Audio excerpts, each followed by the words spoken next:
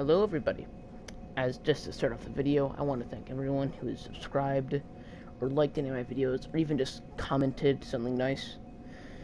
And even just for seeing my video, I probably said that twice, but oh well.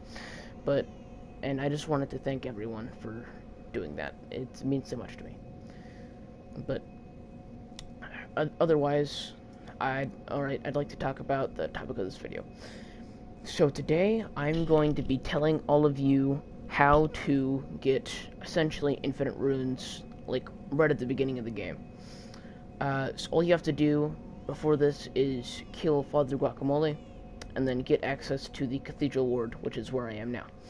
Then, from the Cathedral Ward, I'm going to tell you where to find the location, where where the Bloodstarved Beast is, and then how to get to the Bloodstarved Beast very quickly. So, uh, let's go on a bit of an adventure. Alright, anyway, so when you first go out, you're going to want to go to the left, then you're going to get into a clearing with a well in the middle. There'll be two paths, one to the left, one to the right. You're going to want to take the one to the left, because the right one is not where we want to go. Because it's obvious, though. Anyway, when you get down, you're, you're going to find a few Yharnamites and a few dogs, and you're going to want to take them out real quickly. And, um,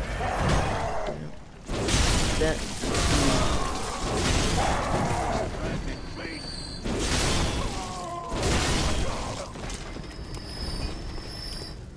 Alright, anyway, uh, then you're, one, you're going to want to go to the left side of the cathedral, and then you're going to be going up the flight of stairs, and there's going to be two dogs and a guy with a gun.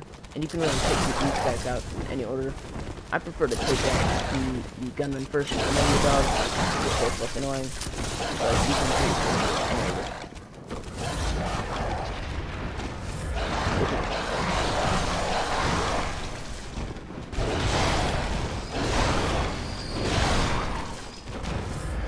Well, in that case, I guess I did take out the dogs first, but... Anyway, now then, now that you've done that, you're going to want to go to the right into a room with a door in front of you, but then there's a door to the right of you, and you're going to want to go into the door to the right. Then you're going to want to pull the lever that's in front of you, then, then you can just go to the left, and then drop off there, but then get into the church, but then there's going to be one more guy, you're going to want to take him out. Then after you're done with that, you're going to want to go into the new path that's been opened up right here. Then you're going to want to go down the stairs. Then there's going to be another doorway to the far right of the room. Then you're going to go down those stairs. And there's going to be a werewolf down those stairs. And you're going to want to take him out first. Unless you're just really fast. Just go past him. I him because I think it's just too annoying not to. But too like a werewolf running around and you know what I'm Anyway. Then after you do that, you're going to want to go down these stairs right here at the end of the room. You're going to want to go then uh, circle around a bit, then go down these this ladder, then go down these stairs. Then you're going to find a, another lamp. You're going to want to light that lamp. I already have it lighted because I've already gone through this.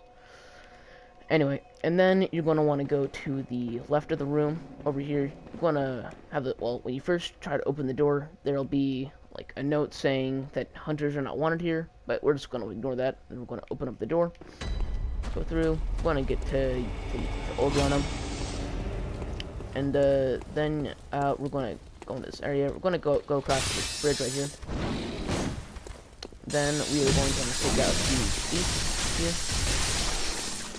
that. I'm using the the the Whirligig, sorry, the the Whirligig saw for this. um, you, it's a DLC weapon. I might I might do a video with that. Uh, it is a really fun weapon to use, though. Oh, I'm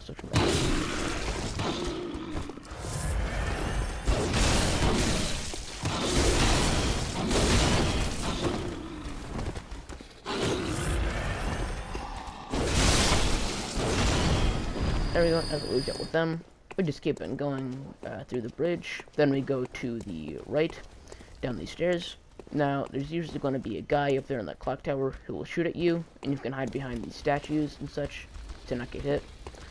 But I've already killed him, so we'll just be ignoring that.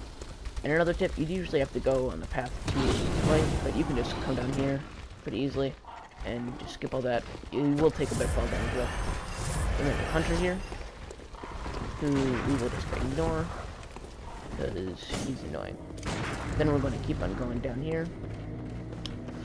I'm going to head into this broken window, then go out on the first door to our right. Then we will go to the left, and then very careful, fall down on the platform right here. Then we will go look behind us and get this platform right here. Just go down here. And then just, there's, uh, there's usually a thing here. Come in, then you just go over here.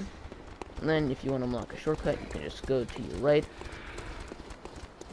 Then it'll uh, be here. Just go up this ladder.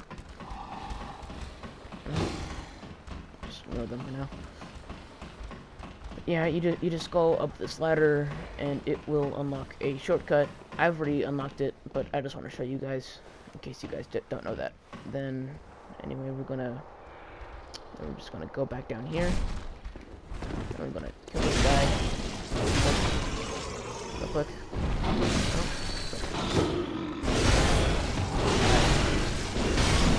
Alright, there we go.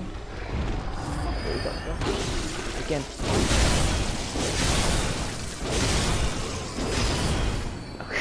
There we go. So, then now that now that when when we go down this ladder, we're going to look to our left. We're going to go down there. We're going to be another path. We're going to follow that path. Go through this hallway right here. And keep going. Then we're going to go to our left.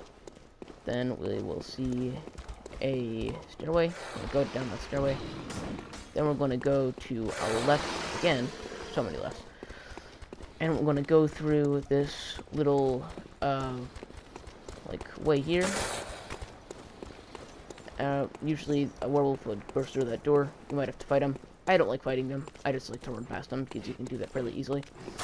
You'll keep going this way. Then you will, when you get to this part right here, you, you go to the left.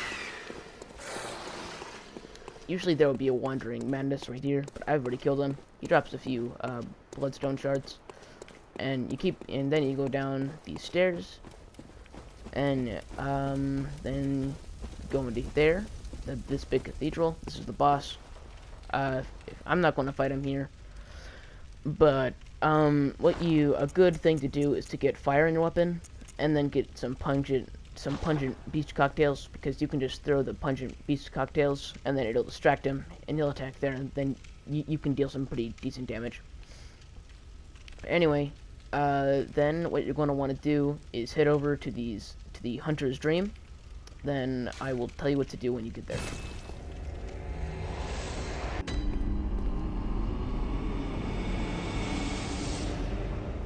Alright, now that you're here in Hunter's Dream, assuming that you've killed the Bloodstarved Beast, you're going to want to uh, go look to your left, over there. You're going to see a bunch of these, uh, these first ritual altar, second ritual altar. Uh, I have that on both of these. This is my uh, second go around. Well, one tick, but alright, I'm gonna tell you guys how to do it. Anyway, you're gonna want to go up to any of these, any of these, then you're gonna go to, you want to select it using X, then you're going to select search by Chalice Glyph, and you're gonna want to put in C U M M M F P K. I know, very funny. Uh, Seaman. Then you want to go to. This should show up. Uh, question mark place name question mark. Um, then you want to going to want to select that. Then join the selected chalice dungeon. Then there we go. Then you are going to want to back up a bit. Then select it. Then just go to Chamber of the Seal.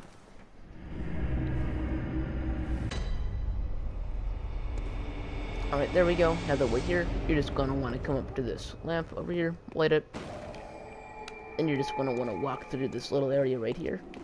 Then look to your left and witness this enemy guy. I think he's like this really high level hunter.